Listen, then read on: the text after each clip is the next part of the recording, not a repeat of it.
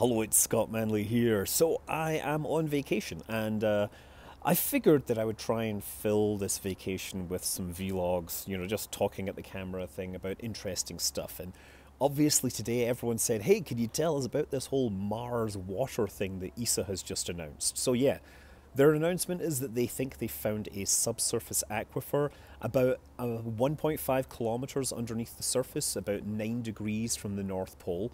This is a lake potentially about 12 kilometers across. They don't know how deep it is, but the reason they know about it is because it generates really powerful radar reflections from an instrument called MARSIS. That's the Mars, uh, what is it? Mars Advanced Radar for Subsurface Ionospheric Image, or sounding, sounding, there we go.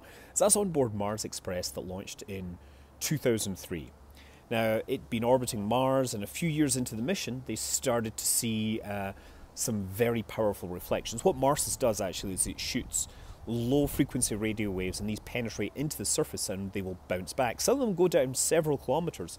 But uh, this one was getting a very powerful reflection, uh, but you know, one and a half kilometers deep. And initially, they started to think this was an instrument error because they would see them on some orbits, but not on other orbits. And it took them a while to figure out that the instrument was actually averaging the results it was getting before sending them back. So they had to reprogram it to actually store the raw data when they were passing over the interesting areas. And when they did that, they began to see that there was a consistent bright spot about 20 kilometers across, 9 degrees from the North Pole. So that's pretty darn significant. Now, it's not just the radar brightness that uh, you know makes this look like a lake. Obviously, being a lake may, would make it flat, but this would be something under underground. Even if you've got a saturated area of um, you know soil, then the water will try to find its level, so it will have a sort of flat surface regardless. But uh, the strength of the reflection implies that it's water, and because of the expected temperature, it would have to be very salty water. Otherwise, it wouldn't be liquid. If it was frozen solid, it wouldn't generate this uh, this data.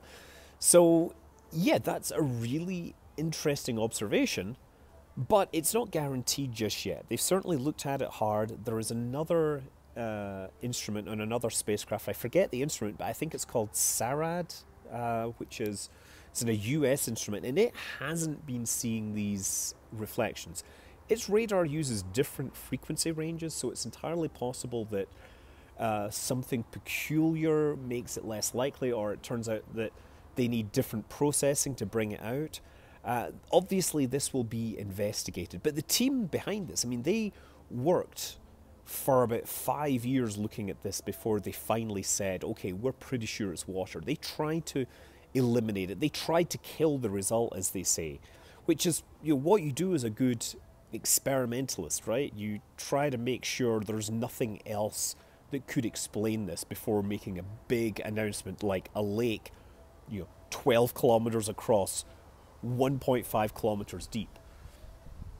Now, we won't know for sure whether this is the thing for a long time. First of all, yes, other spacecraft are going to be looking at this, but it's underground, so most instrumentation can't find it.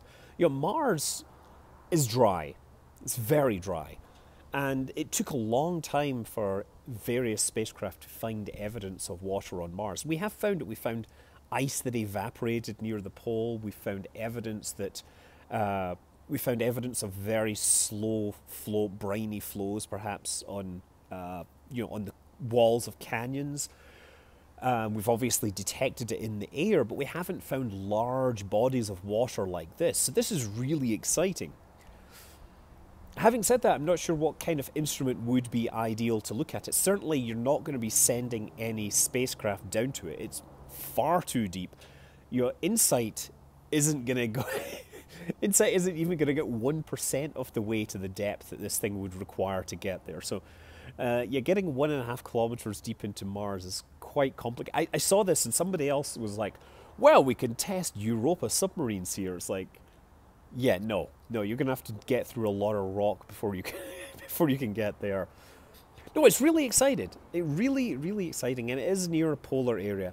I think what the immediate effect will be is that these areas will be declared especially high protection zones. So uh, spacecraft that go. Probably no spacecraft will be allowed to land there until uh, we get a better idea on how to, you know, determine whether Martian life ever existed or anything. Anyway, yeah, looking forward to seeing what happens there and uh, hoping that I will continue to do this throughout the entire trip. I'm Scott Manley. Fly safe.